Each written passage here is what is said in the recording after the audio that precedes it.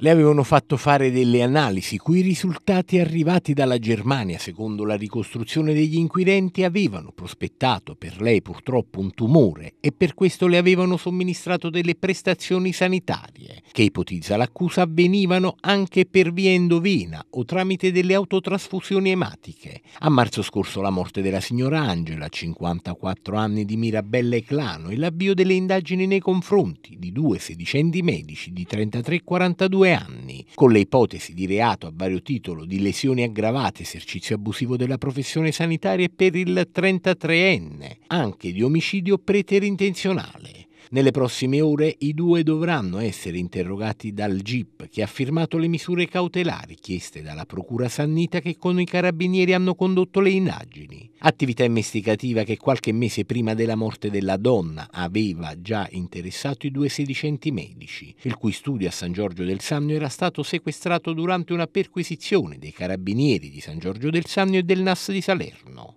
dopo la denuncia di altri due pazienti. Oltre 40 le pagine dell'ordinanza a loro carico, secondo la Procura Sannite, infatti approfittando dello stato di vulnerabilità dei numerosi pazienti, per lo più intimoriti da patologie immaginari diagnosticate dagli indagati che non si limitavano a prescrivere medicinali o rimedi naturali, ma praticando anche trattamenti pseudosanitari o pseudoterapeutici, il tutto per garantirsi vantaggi economici.